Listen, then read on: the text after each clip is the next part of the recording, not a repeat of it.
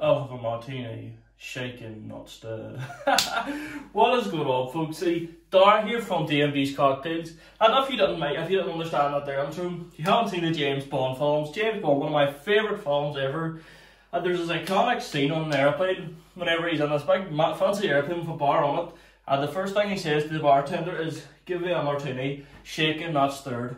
Now, a few people that wouldn't be very up with the cocktails don't really know what that the way a martini works. So I think that there's cool. Next time I go to a bar, let's order a shaken, not stirred martini. But actually, fun fact, the way a martini is supposed to be made is it's not actually a shaken drink, it's a stirred drink. So basically, when you shake a drink, it dilutes it a lot, and it also, you know, it's it's not it doesn't really uh, give you any of the flavour of the cocktail.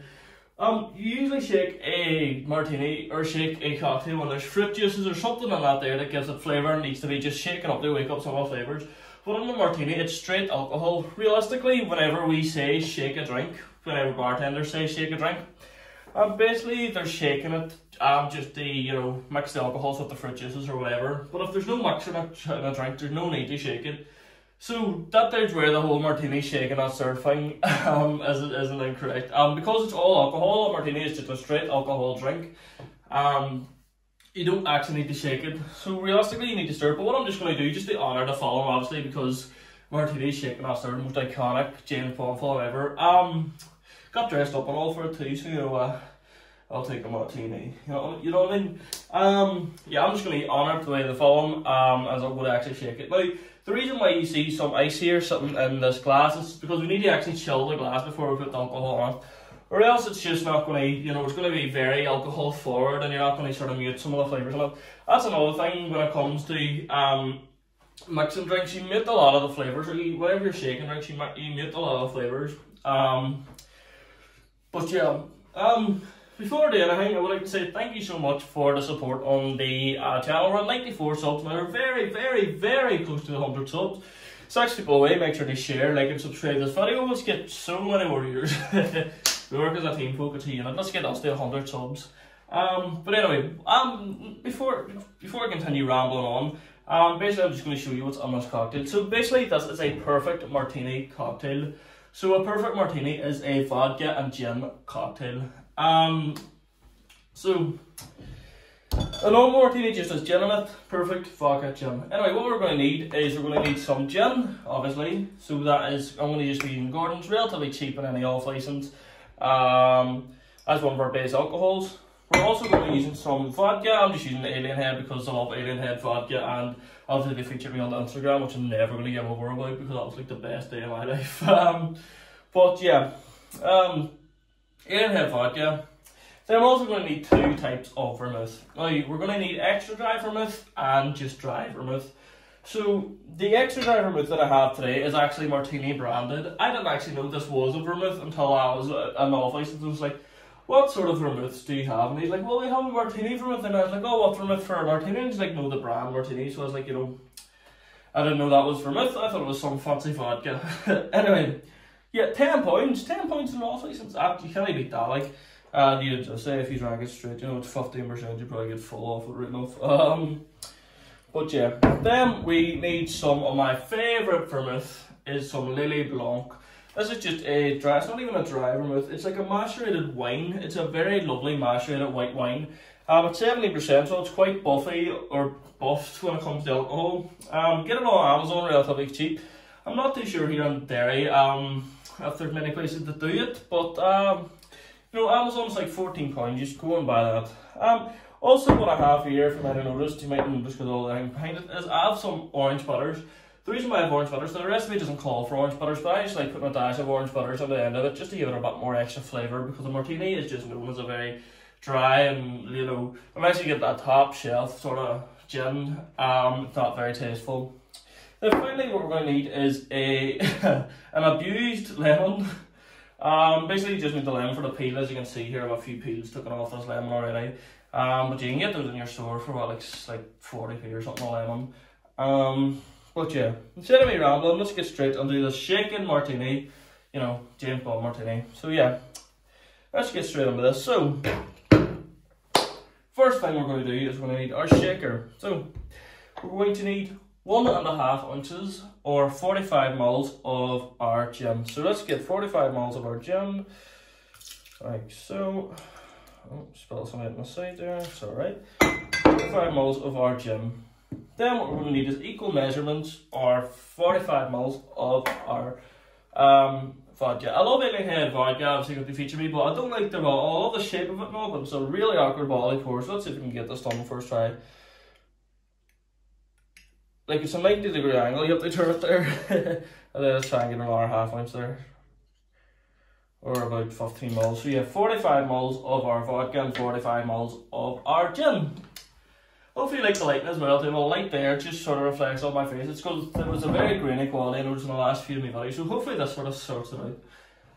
Next what we're going to do is we're going to get our Lillet Blanc or whatever vermouth you have handy. Lillet Blanc is specifically called for in this cocktail, but you know, whatever, you know, you can really use a white wine. It wouldn't be as tasteful, but you know, even though, even just a Lillet, just get Lillet Blanc. It's relatively cheap. You're just going to need 15 mils of this anyway, so 15 mils of our, oh god, a heavy 15 mils or half an ounce of our Lillet Blanc.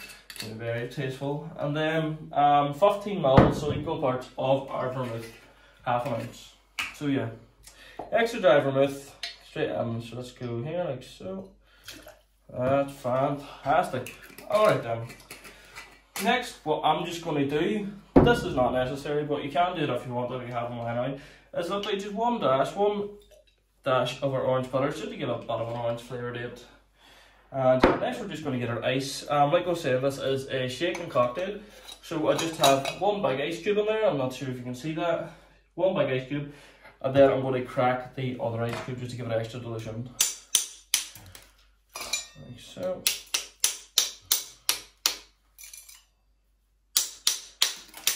There's something just so satisfying about cracking ice.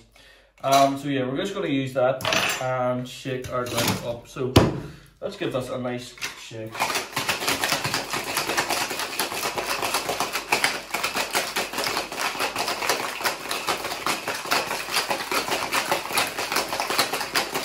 Ten, 15 seconds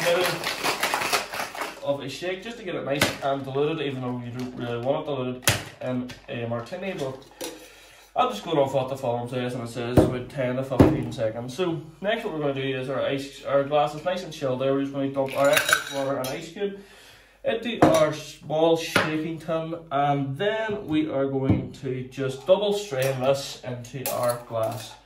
So yeah, just get your um your strainer and another smaller strainer and just pour it directly in. So let's get this on there.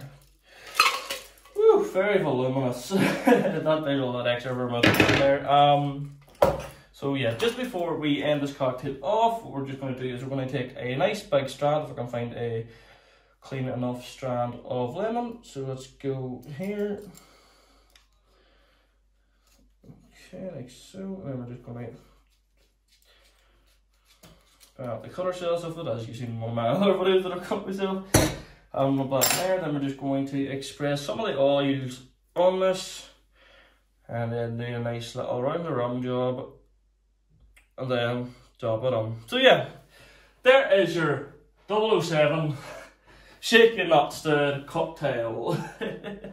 Always go with the English accent, what to say, that's crazy, I don't know why. Um, but yeah, let's just give it a say, uh, words are hard. Let's just give this a taste while we're here. Mm, yeah. Right off the bat, you get that lemon on the nose. They did their nose, uh, the smell you get in your nose translates straight into that drink. So you, even though there's no lemon really in the drink itself, you can taste the drink. The orange bitters just gives a little bit extra citrusy too, which is lovely. That's why I do put it on there.